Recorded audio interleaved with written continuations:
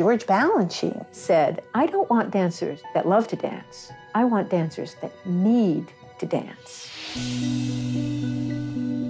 Balanchine was one of the most important people in the ballet world ever.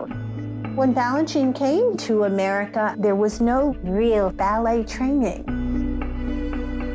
Balanchine not only started a company, he changed the whole look of ballet. He was inventing movement that was so new. He was experimenting. This is like some kind of mad scientist. It's like I was a pupil of Einstein. Sometimes it was so strange and what he was asking you to do. It took you a while to figure it out. And then again, He'd say, Your hands, like baby, like baby. He talked to me about eagles, soccer players. Scraping the bowl with your foot. Any other ballet class, eight of something, that's a lot of repetitions. Balanchine often gave 32, 64. Faster.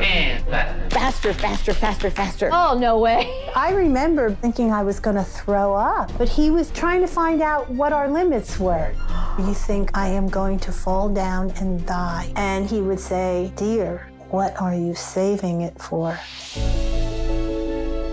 The way he taught, the way he choreographed.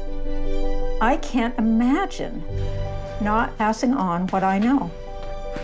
do it fast. You have to push. As teachers, as much as we try, we're not Balanchine. Bigger, Harder. More delicate. but we devote ourselves to it.